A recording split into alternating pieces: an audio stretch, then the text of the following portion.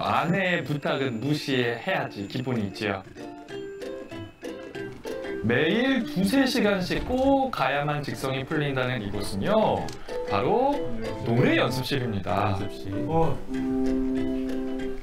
나운하의 아지트인 셈이죠. 넥슨 집에서 노래를 하면 아파트 민원이 들어와서 매일 이렇게 연습실을 찾는다고 아, 해요. 그렇죠. 공동 생활이니까 아파트.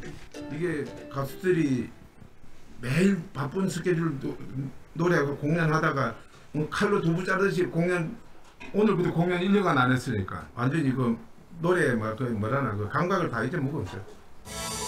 아, 지금 이 순간은 박승창이 아닌 나운하로 맹 연습합니다.